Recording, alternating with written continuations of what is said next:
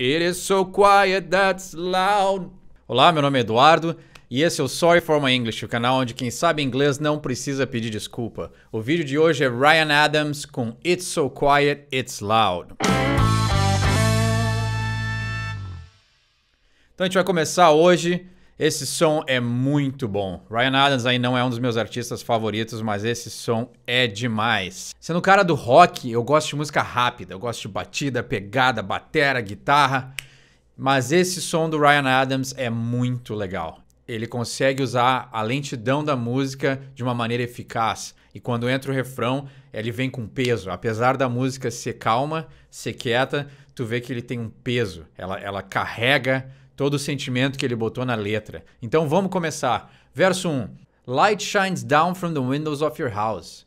Aí tem uma leve rima no timing. Light shines down from the windows of your house. Tem, tem uma leve, não é bem uma rima, mas tem uma cadência aí que é muito bem usada. Né? Ryan Adams aí já é um cara veterano, então ele sabe muito bem o que, que ele está fazendo. Light shines down from the windows of your house. A luz tá iluminando, né? Tá caindo, tá em descendência das janelas da sua casa. Aquele quadra, clássico quadradinho de filme, né? A casa tá iluminada e a luz tá, tá aparecendo no chão, né? The rain passes slightly. A chuva passa levemente. Então aí, luz na casa, caindo uma chuvinha.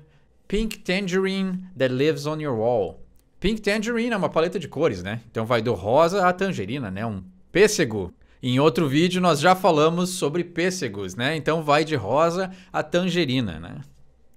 Spins your room slightly. Spins your room, a palavra spin é virar, né? Girar, mas nesse caso spins your room não quer dizer que vira a, a sala, mas sim dá uma nova cara para a sala, né? Spin your room, ou seja, deixa sua deixa o seu quarto, né, um pouquinho mais descolado.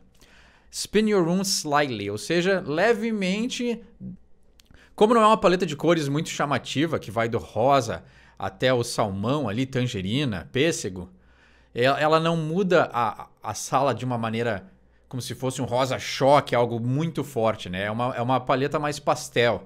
Então ele diz spin your room slightly, ou seja, levemente dá uma descolada no teu quarto, né? Não é uma parede branca, né?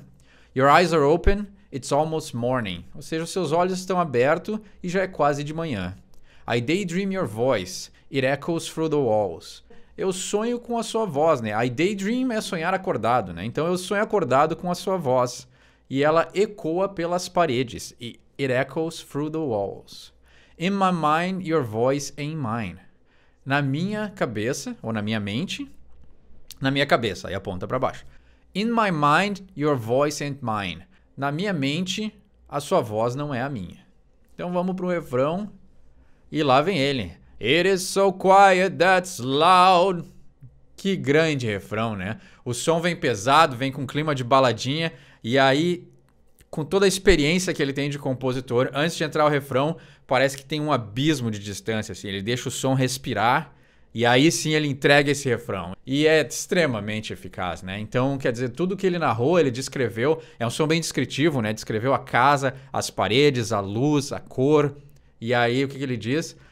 tem tanto silêncio que é alto, né? O silêncio, ele é forte demais, ele é tão silencioso que é alto, que é barulhento. No caso loud aqui não é barulho, mas eu acho que é a melhor palavra que eu consigo pensar agora para explicar essa parte, né? É tão quieto que é alto, né? É que alto não é de altura, né? Mas é, é tão quieto que faz barulho, incomoda, enche a sala. It is so quiet that's loud. Vamos então pro verso 2. And the night drags on, we finish drinks sideways. A noite se arrasta e nós terminamos os drinks de lado, né? Ou seja, já estão bem bem bebinhos, né? Finish drinks sideways. A não ser que seja uma gíria que eu não conheça. Sideways seria já tu já tá aqui no bar, né? Já tá meio de lado e terminando o drink. Telephone rings, rattles once and stops. Telephone rings, o telefone toca. Rattles once, ou seja, chacoalha uma vez and stops e para, né? Rattle é uma palavra que é bem chatinha de se falar, né? Dois T's ali, né? Rattle. Tem o disco do YouTube também, né? Ah, cometi uma gafe. You two. Não se fala o W quando se diz dois. Então é You two. Esse é o nome da banda. Rattles once and stops. Tem que tomar cuidado aí quando for falar rattle. He hangs up while you're dreaming. Ele desliga enquanto você está sonhando. My eyes are open now, outside is pouring. Meus olhos estão abertos agora. E do lado de fora tá chovendo, né? Pouring é quando tá chovendo demais, né? Então é pouring é, é servir, né? Quando tu tá servindo uma jarra, alguma coisa. Mas no caso de chuva, né? Ele já tinha explicado no verso anterior que estava chovendo. Pouring é quando tá chovendo demais. I daydream your voice, it echoes through the walls. Eu acho que ele repete, né? Ele tá repetindo o que ele já tinha falado no primeiro verso. Mas aí nesse caso, como ele é um compositor muito experiente, é justamente para reforçar essa ideia, né? I daydream your voice, it echoes through the, through the halls. Ah, aqui ele dá uma mudadinha, então. I daydream your voice é a mesma coisa que ele tinha dito antes, né? Eu sonho acordado com a sua voz, mas ela ecoa pelos corredores. Na primeiro, no primeiro verso ele diz it echoes through the walls, no segundo ele diz it echoes through the halls. Agora já são os corredores, então a voz dela está tomando uma proporção muito maior. Geralmente casa tem um sentido. A casa é uma metáfora para nossa mente, né? Então os quartos são os compartimentos que a gente tem na cabeça. E aí, nesse caso, a voz dela está tomando conta de mais espaço dentro da cabeça dele. A metáfora da casa e os corredores. In my mind, racing through the crowd, I hear a voice say mine. Na minha mente, racing through the crowd, ou seja, correndo pela multidão. No caso, a multidão é todos os outros pensamentos que ele está tendo. I hear your voice say mine. Eu escuto a sua voz dizer a minha, né? Uh, o jeito que ele escreveu não está exatamente correto. Talvez aqui ele tomou uma liberdade para a música, né? E para e entregar o refrão. Mas seria, eu escuto a minha voz nas suas palavras. I hear your voice say mine. A sua voz está dizendo a minha. É, é, não faz muito sentido, mas ele está querendo dizer. Como no primeiro verso é ele que está dizendo It is so quiet that's loud, antes de entregar o segundo refrão, ele vem e diz: É a sua voz agora que está dizendo. Mas como o que deu para perceber nesse som é que tudo está se passando na cabeça dele. Talvez a situação que ele viveu não existe mais. Talvez eles terminaram, talvez ela morreu, talvez já faz muito tempo, talvez ele tenha saudade. Então, talvez são só memórias. Ele já tá, ele tá só lembrando do que aconteceu e talvez esse lado de estar tá tão quieto, que é o, o, que o refrão entrega, seja só o sentido do som, que tá tão quieto, mas as memórias é que são muito altas. Tudo que ele lembra do que aconteceu é que faz o barulho. Mas na verdade a situação ela é, ela é um silêncio. É ele com os pensamentos dele. É um som muito interessante. E aí já vai pro refrão. It is so quiet that's loud. Fantástico refrão. Fantástica música. É uma música curtinha. Ele já terminou aqui.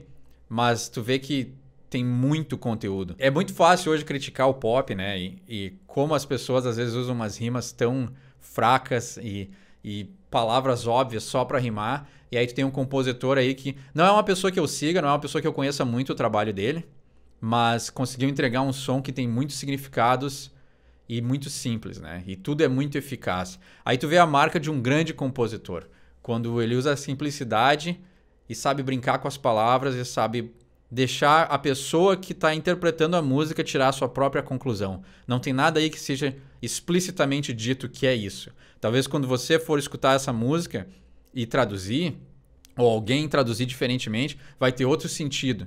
E essa é a marca de um grande compositor, deixar o ouvinte pensando. Acho que falta isso em algumas músicas hoje em dia. Músicas que fazem pensar. Mas esse não é um canal de julgamento. Mas vale a pena ressaltar que o trabalho desse cara é muito bom. Então esse foi o It's So Quiet, It's Loud. Se você tem uma tradução melhor aí, essa música é altamente interpretativa, então se você acha aí que, que podia ter sido melhor traduzido, ou alguma das, das frases ali que eu fiquei um pouco em dúvida, você tem uma tradução melhor, é só deixar nos comentários. Quer deixar uma sugestão para uma próxima música que eu vou traduzir ou interpretar? Deixa aí também. Esse é o Sorry for My English, quem sabe inglês não precisa pedir desculpa.